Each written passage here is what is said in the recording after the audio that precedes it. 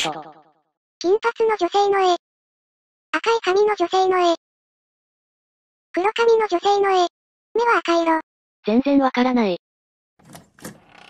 絵の裏に何かあるのかしら？絵がある場所の裏を調べてみよう。何もないな。時計の裏側とかどう？後ろから見ても何もない。作者に心を見透かされた気分だ見ね。透かされてるんだぜ。そういえば椅子が固定されてるわね。椅子はここで正解なのかな？でもこれ以上何をしたらいいんだ？他に調べられそうなところはないわね。時計は動いていない。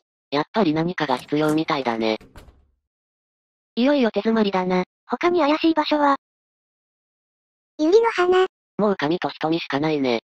楽譜は青い目が見つめている。完全にこれ以外ないわね。楽譜って言ってるもんな。ちゃんと読み返せばわかるのかな？もう一回本を見て考えるわよ。青い目を探すんだよな。見つめているっていうのも気になるね。謎解きからの謎解き。手加減してほしいわね。瞳の研究。青い目の人は誰だ？ちょっと難しいから画像をつけるぞ。銀色の髪の女性は赤い瞳だからここは確定ね。茶色の瞳は金髪か赤い髪のどちらか。ここまではわかってるけど、これ以上の情報がないわね。ビオラちゃんはこの地方の子だよね？多分そうだな。金髪で、緑色の目だね。あっていうことは、青い目の女性は黒髪。さっきの部屋に戻るわよ。ヒントはずっとあったんだね。これで間違ってたら恥ずかしいけどな。それで、何だったかしら？黒髪の人が、見つめている先に、ここに楽譜が、ある。白い紙が挟まっている。あった。五線紙を手に入れた。めちゃくちゃ苦労し、えなんだ？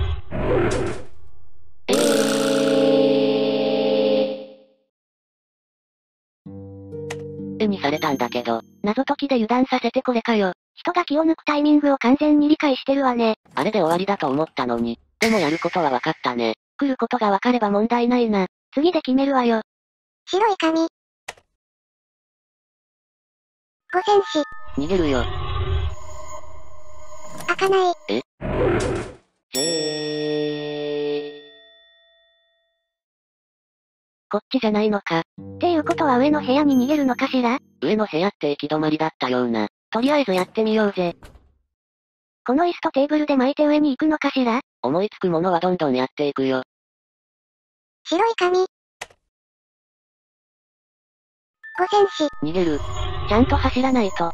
急いで上の部屋に行くわよ。開かな。ないん？開かないじゃないか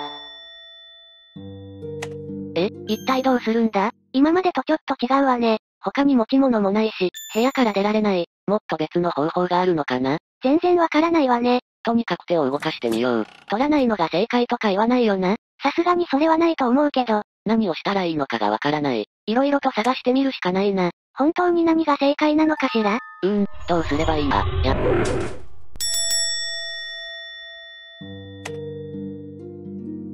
今のはないわ。さすがに正面は無理よ。逃げられないってことは間違ってたりするのかな？どういうことだ？実は黒髪が正解じゃないとか。うーん、そうかしら？間違ってるから逃げられないってことか？ドヤ顔解説したけど間違ってるかも。もう一回確認していいかな？間違ってるようには見えなかったけど、最悪の場合、そうあたりしてもいいものね。勘違いしてたりするかな？瞳の研究。瞳の色は人によって違う。髪の色によって、それぞれ瞳の色が異なる。髪の色は銀、黒、金、赤の4種類であり、瞳の色は茶、緑、青、赤の4種類である。金色の髪の女性は赤い瞳であり、茶色の瞳の女性は金髪か赤い髪のどちらかである。何も間違って覚えてないよな。ビオラちゃんが違ってたら運ゲーになるわよ。金髪は絶対に確定だよね。書いてあるから間違えようがないな。茶色の瞳の女性は金髪か赤い髪。これも書いてある通りだね。で、ビオラちゃんはこの地方の女性。そう考えると金髪は緑の瞳になるわね。これで茶色の瞳も特定ができて、青い瞳は消去法で。これ以外ないわね。この推理は間違ってないはず。正解と思い込んでるだけで間違ってる別のところの反応も見てみたら？一回やってみようか。誰の見つめる先にしようかな？あ、金髪の絵が戻ってる。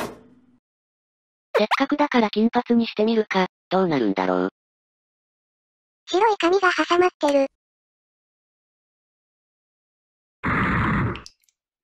どういう状況？さっきと反応が違うね。それじゃあ次は絶対に違うのを選ぼうぜ。ピオラちゃんはあと何人犠牲になるのかしら？絶対に間違ってる場所？銀髪は赤い目だから絶対に違うね。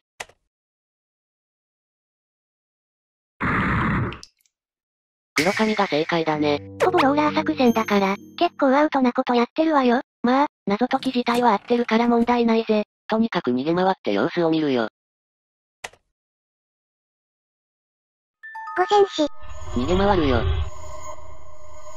何かあるか？危ない。今のは危なかった。あ、張り紙が動いてるぞ。絵を壊せ。絵を壊せ？こいつが出てきた絵を壊すのか。やっとわかったけど。無理。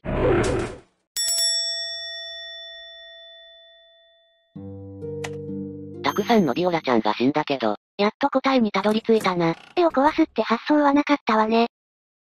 白い髪。長かったバトルもこれで終わりだね。五戦士。絵を壊しに行くぞ。そい。